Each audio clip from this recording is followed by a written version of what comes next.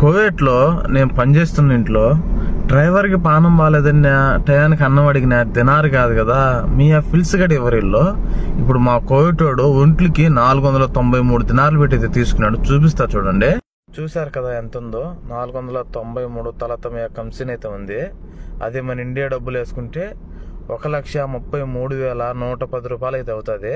చూసారు కదా కోవిట్లో కొన్ని కొన్ని ఇల్లులు ఇలానే ఉంటాయి. అన్ని ఇల్లులు చెడ్డు అని కాదు చాలా మంచి ఇల్లులు కూడా ఉంటాయి. అదే ప్రతి వీడియోలో నేను చెప్తుంది అదే మీరు కోవిడ్కి వచ్చేటప్పుడు ఏదో వచ్చిందని తొందరపడైతే రావద్దండి. ఇల్లు మంచిదా కాదా కనుక్కొని అవుతారండి ఇక్కడ వచ్చి అందరూ బాగుపడాలని కోరుకుంటాం కానీ ఏదంటే ఆ ఇంట్లోకి వచ్చి మా మాత కష్టాలు పడద్దనే చెప్తున్నాం ప్రతి వీడియోలో.